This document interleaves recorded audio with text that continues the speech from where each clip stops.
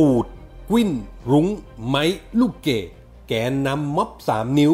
ขอลี้ภัยไปอเมริกา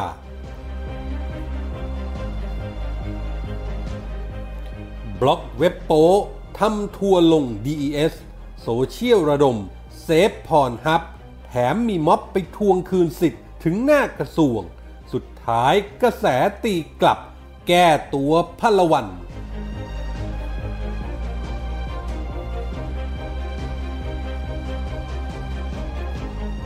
วัสดีครับ ขอต้อนรับทุกท่านเข้าสู่ MGR Podcast ครับ ผมเกษตรชนะเสรีชัยรับหน้าที่ดำเนินรายการครับ วันนี้ผมมีคอลัมน์ข่าวปนคนคนปนข่าว ประจำวันพุธที่ 4 กันพฤศจิกายน พุทธศักราช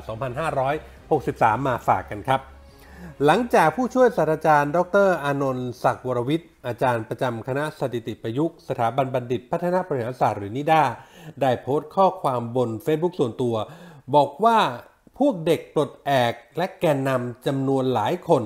ทำเรื่องขอลี้ภัยทางการเมืองไปอาศัยในสหรัฐเป็นที่เรียบร้อยแล้ว ทาง CIA ได้รับคำร้องคำขอลี้ภัยนี้ และให้เด็กพวกนี้จะได้ไปชุบตัว เรียนหนังสือต่อด้วยทุนของสหรัฐ และก็คงกลับมาเป็นอาจารย์ธรรมศาสตร์ในอีก 5-10 ปีข้างหน้า โพสต์นี้ของอาจารย์ก่อให้เกิดคำถามในโลกโซเชียลครับว่ามีเขาความเป็นจริงมากน้อยขนาดไหน และแกนนำเด็กปลดแอกนี้มีใครกันบ้าง แน่นอนว่าสายมโนโซเชียลก็สืบเสาะข้อมูลกันไปต่างๆ นานา ความเป็นไปได้ก็ใช่ว่าจะไม่มี เพราะความลับสุดยอดนี้ถือเป็นการเตรียมทางหนีทีไล่เอาไว้ล่วงหน้า หากว่าถึงที่สุดแล้ว ปลายทางของม็อบ 3 นิ้วคือพ่ายแพ้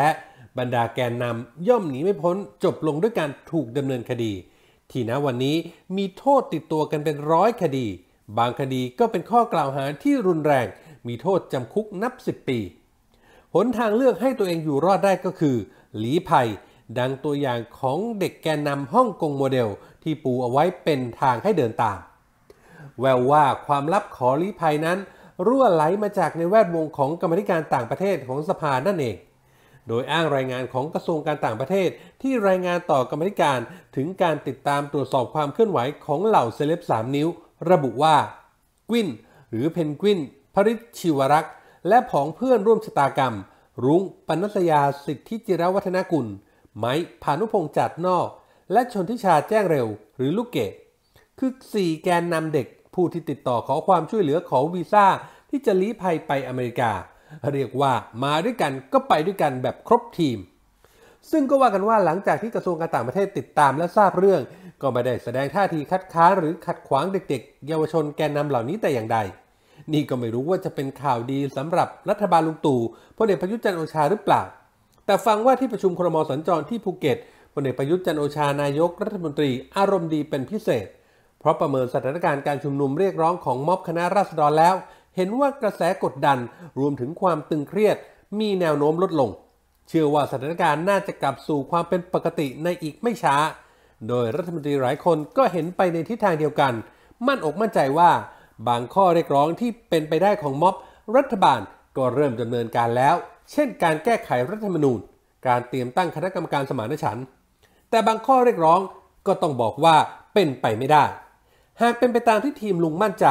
เรื่องลี้ภัยของกุ้นและผองเพื่อน ก็มีน้ำหนักมากขึ้นเรื่อยๆ เรื่องนี้จะจริงเท็จประการใด โปรดติดตามตอนต่อไปครับ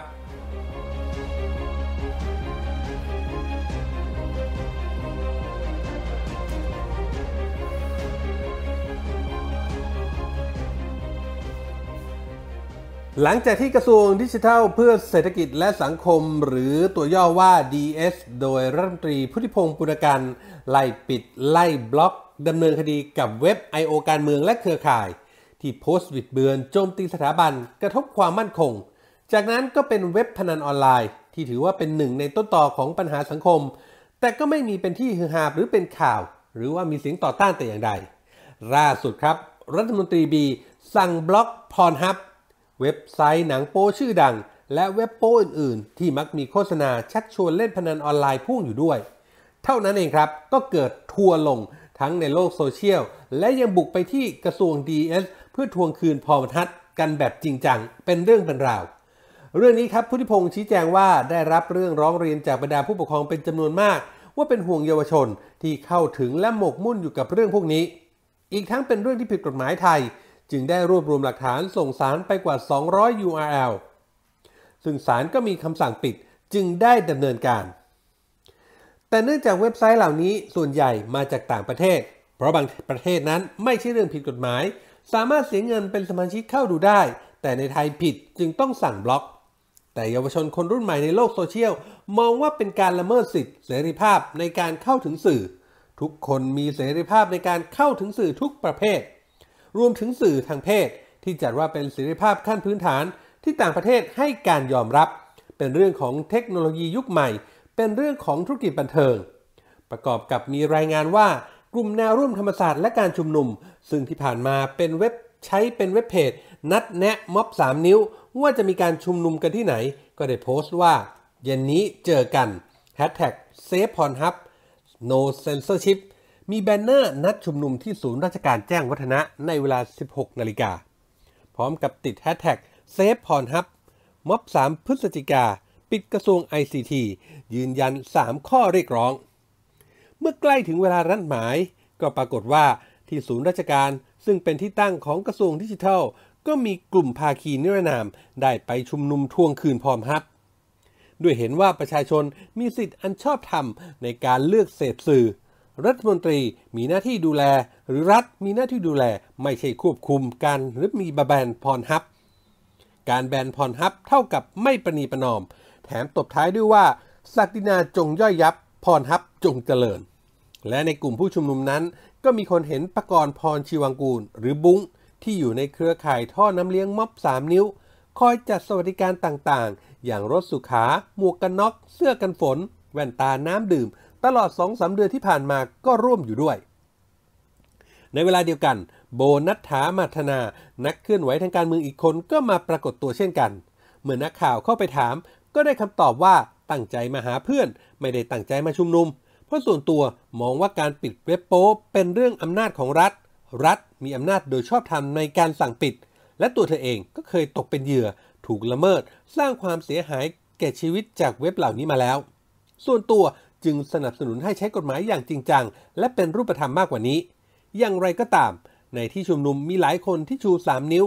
ภาพที่ออกมาจึงกลายเป็นว่าม็อบ 3 นิ้วที่กำลังไล่นายก แต่วันนี้มาเรียกร้องทวงคืนเว็บโป๊ซึ่งเป็นภาพลักษณ์ที่ไม่ดีนักต่อสังคม จึงเกิดกระแสตีกลับในโลกโซเชียลทำเอาผู้เกี่ยวข้องต้องออกมาแก้ตัวกันเป็นพัลวัน อย่างเช่น Facebook ภาคีนิรนาม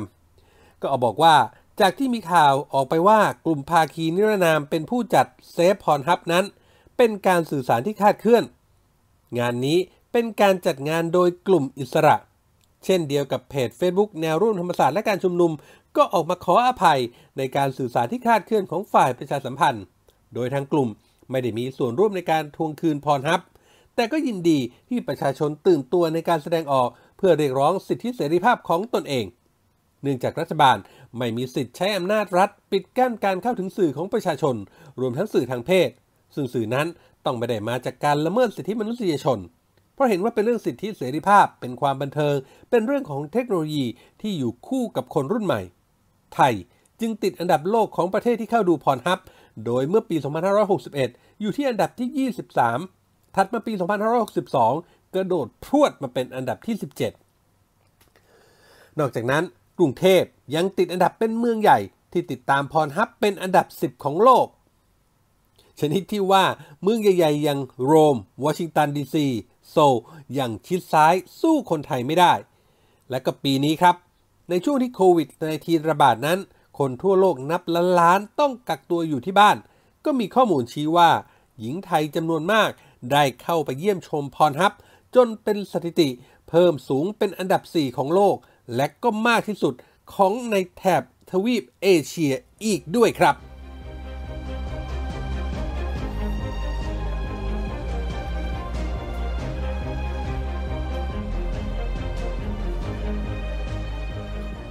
นี่คือเรื่องราวจากคอลัมน์ข่าวปนคนคนปนข่าวที่ผมนำมาฝากกันในวันนี้นะครับ คุณผู้ฟังสามารถเข้าไปอ่านเพิ่มเติมได้ในเว็บไซต์ของเราครับ www.manageronline.com หรือเว็บไซต์ผู้จัดการออนไลน์ที่รู้จักกันเป็นอย่างดีนะครับ นอกเหนือไปจากข่าวสารสถานการณ์ ที่เราอัปเดตให้อ่านกันตลอด 24 ชั่วโมงแล้ว ยังมีคลิปข่าวที่น่าสนใจ ให้ได้เลือกรับชมกันอีกในทุกๆ หมวดข่าวด้วยครับ และถ้าหากคุณผู้ฟังผู้ชมมีข้อแนะนำติชมประการใดนะครับ ไม่ว่าจะเป็นเรื่องของคลิปหรือเรื่องของพอดแคสต์นะครับสามารถทิ้งคอมเมนต์ไว้ได้ในท้ายข่าวเลยครับ หรือถ้ามีโดยตรงที่พอดแคสต์นะครับ ก็ search หา NGR Podcast ได้ทันทีครับ วันนี้หมดเวลาแล้วครับ ขอบพระคุณทุกท่านที่ติดตาม ผมเกษตรชนะเสรีชัยลาไปก่อน พบกันใหม่โอกาสหน้า สวัสดีครับ